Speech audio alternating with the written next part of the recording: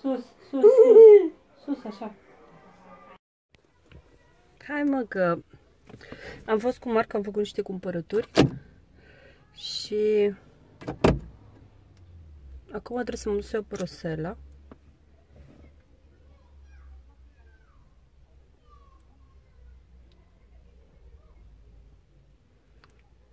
Asta e un ruj de la uh, Chanel. Stai pe aici. Este de nu se poate. Rezistă toată ziua pe buze. Și pe partea asta este um,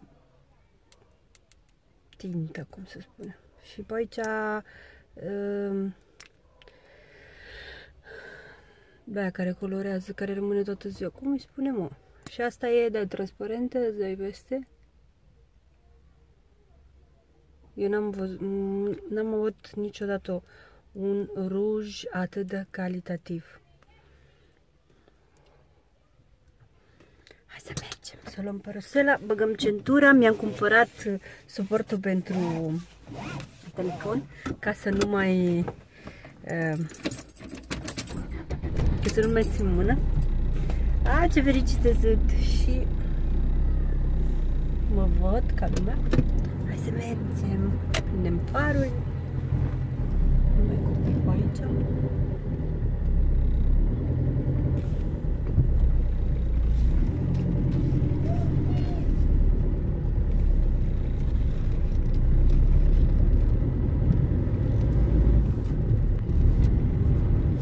În seara asta mă duc la Marco că eu nu trăiesc cu Marco și cu copii.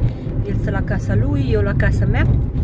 Pentru că am hotărât, nu știu dacă am mai spus, bine, am hotărât eu așa, m-am gândit uh, atunci când, uh, după ce a murit uh, tatăl la copii, am spus că a, hai să vă povestesc ceva de așa. Am zis că niciodată uh, nu o să mai intre un bărbat în casa mea. Pentru că nu e corect pentru copii. Așa m-am gândit eu în momentul atunci. Și eu prima că soțul meu murise, ne despărțisem.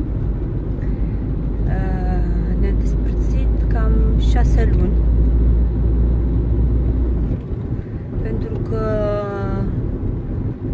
au fost niște înțelegeri foarte urâte de bani, de chestii de astea. Dar, bine, asta nu are nicio legătură.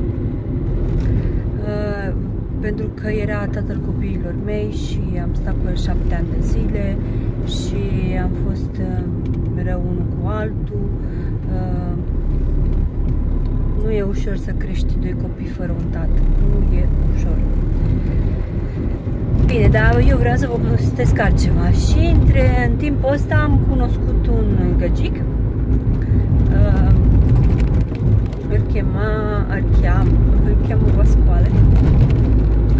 Era un pompier din la care uh, salvează oamenii care uh, sunt în apă, cum se zice, italian îi spune, a, un scafandru de la ceva de genul ăsta, um, care intră în apă și recuperează cadavrele de oamenii aia necați. Bine. Și am stat cu băiatul ăsta cam vreo șapte luni, opt luni. Și ne iubeam rău de tot. El era așa de îndrăgostit și Eh, vrea să vadă copii și nu ieșeam la restaurant sau un oraș fără copii. Era așa de îndrăgostit de amândoi, l-a luat pe Mateo, l-a dus pe mașină de pompieri. Era omul perfect. Eu aveam magazin atunci de copii. El venea când era liber, venea să stătea cu mine în magazin, mă ajuta, mă șeza marfa. Și la un moment dat, eh, nu, de asta ce vreau să mai spun, era romantic, dulce, e, omul perfect. Am zis, gata, am găsit uh, omul perfect.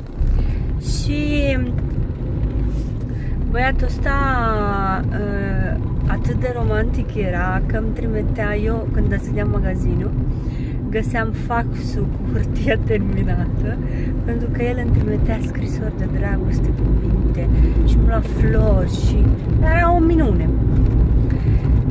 Ce s-a întâmplat? La un moment dat, după vreo șapte luni astea așa, am văzut un pic cam ciudat. Eu nu am, nu am cunoscut părinții lui uh, niciodată. Locuiau și departe de noi, de aici, dar uh, n-am avut ocazia niciodată să-i întâlnesc. Și el, uh, v-am spus, l-am văzut așa un pic uh, cam rece. Și am întrebat ce se întâmplă, Pascoale. Și el, uh, am o problemă. Ce problemă ai? Uh, uh, el își plătise să-și cumpere casă. Și ce problema mea este că părinții mei nu vor... Uh, au, au spus că mă ajută cu casa sau ceva de genul ăsta, că îi dădeau bani să, sau i-au dat bani, nu, nu știu să vă spun bine. Uh, mă ajută cu casa dacă dar nu, nu te vor pe tine, pentru că ești româncă și ai și doi copii. Și eu așa. Cum adică? Pentru că sunt româncă și am doi copii, a fost atât de umiliant, atât de înjositor, atât de trist, atât de... Și am plâns rău eu în ziua aia, m-am dus după ele acolo, am spus că iubesc, că toate prostile astea care facem noi fetele. Și pe urmă n-a fost chip să... A zis că el uh, nu poate să renunțe la casă pentru mine.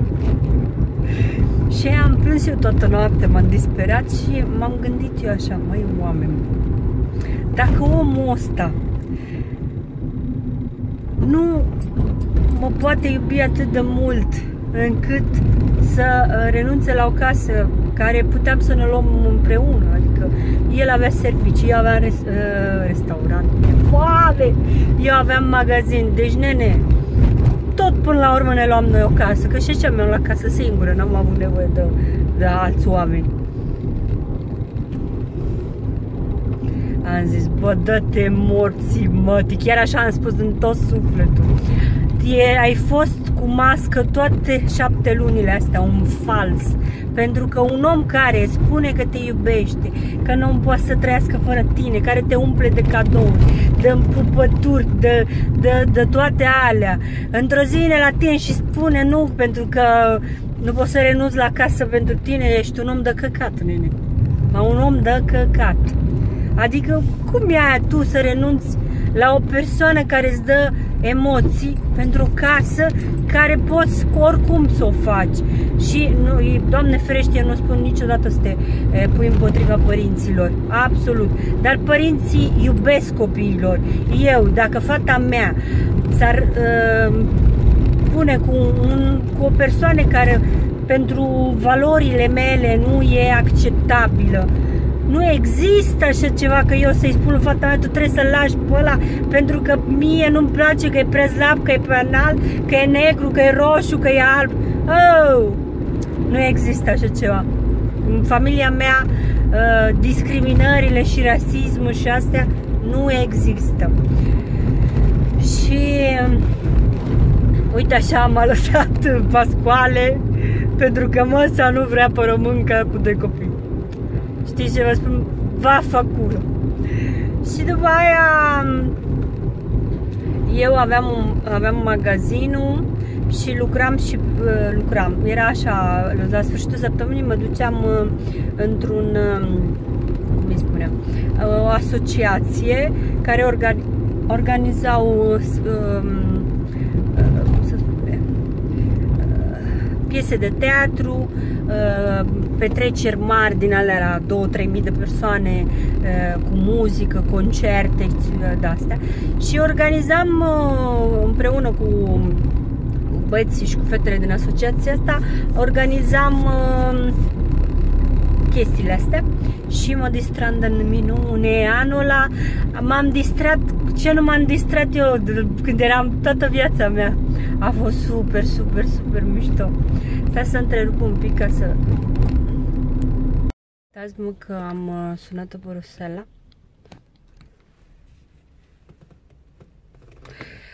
Și mm, m-am distrat anul ăla, m-am dus pe la toate petrecerile, ehm, deschideam magazinul, stăteam toată ziua cu ăștia mici în magazin, că erau mici, mici, mici atunci. Eh, cred că Rosela se ducea decât în clasa 1 și stăteau toată ziua, aveam magazin de copii, era magazinul plin, plin de copilași.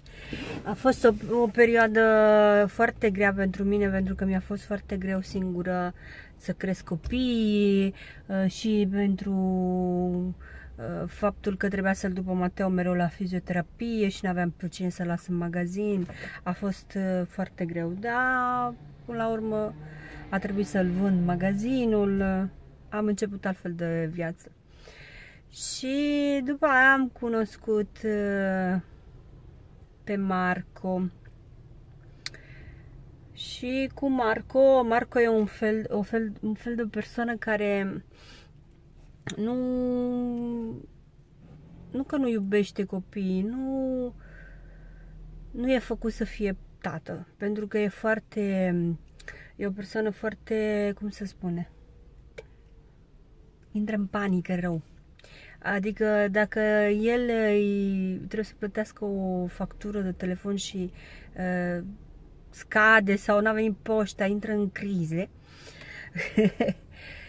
Și um, nu reușește, el îmi spune mereu că el nu reușește să aibă grijă de el, cum poate să uh, aibă grijă de alți copii. Pentru mine chestia asta, el mi-a spus-o de la început că el nu vrea copii, nu vrea obligații din astea așa uh, puternici și a spus că pentru mine era ok, pentru că eu nu vreau să mai bag oameni în casă, fiindcă cu Pascoale uh, Mateo s-a era îndrăgostit de el uh, și mai ales când a ieșit în viața noastră a fost foarte greu pentru Mateo și fără tată și cu ăsta care nu mai era cu noi uh, a fost, a fost greu și eu am zis gata, de momentul ăsta nu mai intră niciun bărbat în casă. În momentul în care m-am uh, pus cu Marco uh, am dat să las asta mai așa să vă mai bine. Um, am zis gata, nu mai vreau niciun uh, bărbat în casă și pentru mine eu am cop- doi copii, el nu vrea copii, ce mă interesează pe mine, gata, nu mai trebuia să mai fac alți copii, că deja uh, aveam doi și nu e simplu nici cu Mateo să uh, să mai ai grijă și de un alt copil, pentru că Mateo Uh, nu poate să meargă, deci tu trebuie să le îmbrațe, trebuie să îl pui în căruț, coboară scările cu căruciorul. Pune-l pe Mateo, ia-l în brațe, pune-l în uh, mașină, uh, strânge căruțul, dă sfăl, bagă-l în bagaj. Nu e simplu să, să ai grijă de încă un copil, de încă o... Și oricum, mai ales bine, acum au trecut mulți ani, eu eram bine, atât îmi trebuiau doi copii, nu nu, dezi, nu uh, pentru mine era ok, așa. Și am zis oricum, uh, nu trebuie să mă mărit eu cu ăsta. Zic, cine știe cât o sta și cu ăsta, că e toate numai șarle bărbații ăștia. Fiindcă ăla m-a lăsat pentru că măsa nu vrea în părămâncă, zic ăsta, cine știe. Și cu Marco sunt de 8 ani. Dar fiecare la casa lui. Ne vedem așa când avem timp. Uh, sunt bune și rele. Rusela i-am trimis un mesaj și nu visează să vină, să vezi nervi acum. da, o să fiu liniștită, că n-am chef să... Mă cam doare capul și astăzi. N-am chef să mă cer cu nimeni. Și după aia o să vă povestesc, când, după ce o după Rosana și mă duc la moarte, să vă povestesc cum l-am cunoscut pe Marco, da. O noapte de tot, e să vedem dacă aprind asta. Mai bine așa. Să ieșim de aici. Și hai să vă povestesc cât pe drum mă duc până la Marco să vă povestesc ce, cum l-am cunoscut. V-am spus că eu organizam uh, evenimente din astea culturale și făceam și organizam pentru discoteci, aveam un grup de balerine braziliane și minuni de-astea. Și un prieten de lui Marco venea aproape la toate seratele care le făceam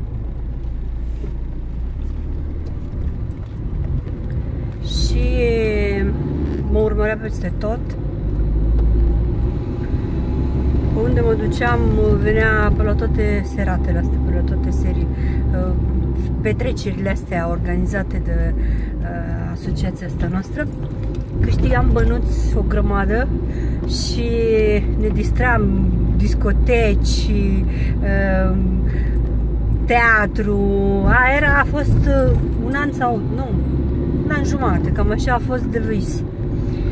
Și prietenul ăsta lui Marco vine la mine și îmi spune am și eu un prieten care are un, uh, un bar aici la noi, la Neptuno, eu sunt de Nanț, eu sunt două orășele, un local și zice, n-ai vrea să vorbești cu el, poate eu organizezi vreo petrecere, să vină lume, să-i să faci un pic de publicitate și așa mai departe. Și eu lucram pe Roma, nu lucram cea, toate contactele mele și toată lumea care ne urmăreau erau uh, din Roma, nu erau de aici. Dar zic, hai să vedem, să mă duc măcar să văd localul ăsta, să văd uh, barul ăsta, să vedem cum este, că nu-l cunoșteam. Și într-o seară m-am întâlnit cu prietenul ăsta lui Marco și ne-am dus la, la Marco la bar. Apare gacicul ăsta blond, înalt, ochii verzi, albaștri, așa are cămașa asta albă, pe el stream, zic, doamne.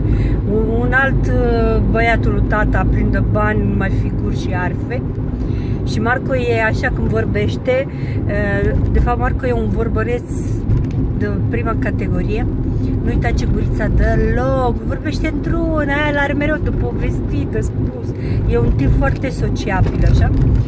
Și a început să vorbească, să facă numai figuri și am spus uh, și mai ales că barul lui era micuț, nu era unul de la mare care puteam eu să organizez cum făceam la Roma de câte 1000-2000 de persoane.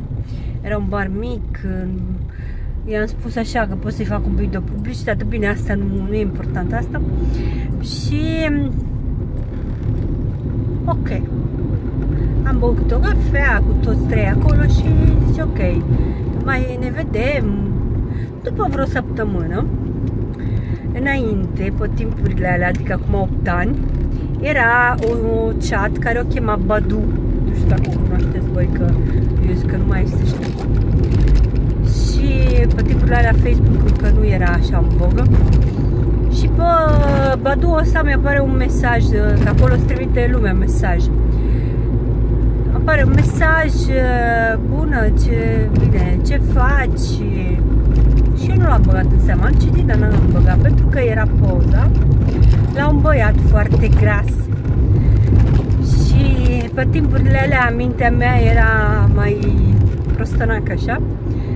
Eram cu mintea la distracții și căutam ca toate fetele care le-ai dat drumul lanțurile, din lanțurile alea de... Că am stat șapte ani cu soțul meu și de la 20 de ani n-am trăit și o tinerețea și cum eram un pic mai superficială, hai să spunem așa. Vreau mai gagici frumoși și de-astea, da?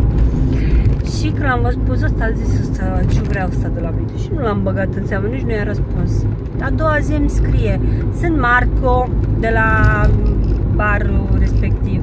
Și zic, aolo, bună, dar ce e cu poza asta? Pentru că el acum nu mai e ce, nu era gras, e normal, un băiat foarte înalt, Marco e înalt 1,86 m, mi se pare, și are așa vreo 90 de kilograme. În poza aia era unul obez. Zic, dar cum e cu poza asta? Zice, nu, eu sunt eu, aveam 160 de kg, am făcut o operație la stomac și am slăbit în, acum 10 ani, nu știu ce adice. Zice, n-ai vrea să ieșim, să vorbim mai bine despre, uh, despre bar, despre... Și am zis să zic ăsta ce vrea să vorbesc mai mult, că i-am spus că nu pot să organizez într-un local atât de mic, nu pot să fac cine știe ce. Da, zic, hai să ieșim, bine, nu, nu îmi făcea plăcere să ies așa măcar să mai cunosc și o lume după aici. Și era o marți seara, ți-o minte cu și marfiat. Pentru că el marți uh, seara avea uh, uh, barul închis pentru o digna săptămânii și a venit acasă la fața blocului unde stăteam atunci. Îmbrăcat, ți-o minte și acum, cu o cămașă cu pătrățele blomaren așa. Arată, Marco arată foarte bine unde e înalt așa și cu cămașa asta. Și s-a prezentat cu mare BMW 300, nu mai știu, 360, nu știu cum îi spune. Zic, aoleu, ăsta e numai figurtă el figura. Da, bine, ne-am dus într-un oraș aici lângă noi, pentru că noi aici la Anțio nu prea aveam așa cine știe ce. M-am dus într-un restaurant, nu era un restaurant pentru că era după cină, într-un local unde să bea, într-un bar. Și barul ăsta era de o frumusețe de n-aveți idee, numai cristale, numai minuni. Și eu umblam în discoteci, prin localul și astea, dar nu beau. Eu, de felul meu, nu beau niciun fel de alcool. Maxim așa ce pot să beau când mănânc uh, la un restaurant o jumătate de pahar de vin alb, dar foarte, foarte rar. Și cocktailuri nu alcoolice.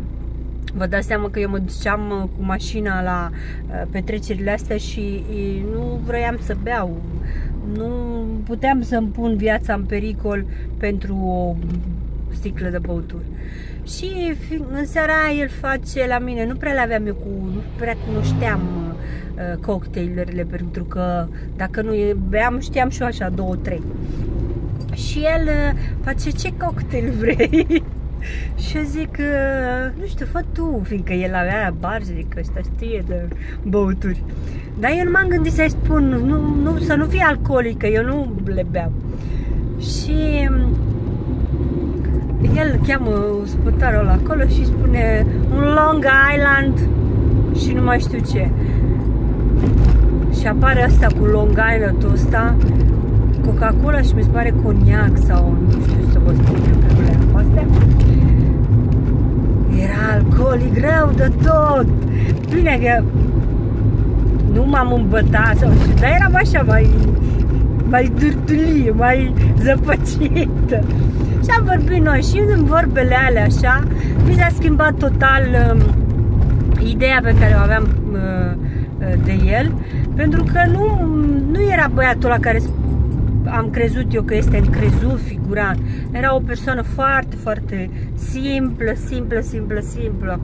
Uh, puteai să vorbești cu el liniștit și așa. În fine, plecăm de acolo și el la un moment dat se oprește pe dreapta așa pe stradă și pe mine mă lasă căldurile, nu dau seama. Mai ales că băgase și drink cu Long Island-ul. și el se oprește și zic, de ce te oprești? și el vine lângă mine așa, s-a oprit și mi-a mâna și îmi zice, dacă eu te-aș săruta acum, ce ai spune? Și eu gata, am, am leșinat. Pentru că voi trebuie să știți că primul meu sărul l-am dat la 12 ani.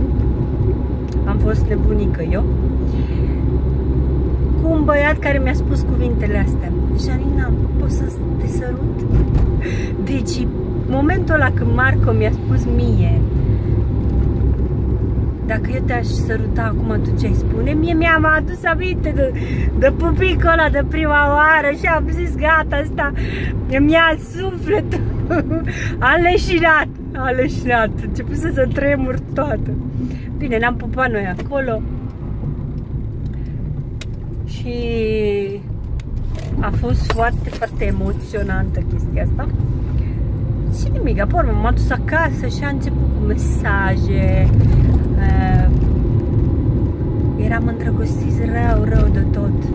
Haideți că am ajuns acasă la Marco.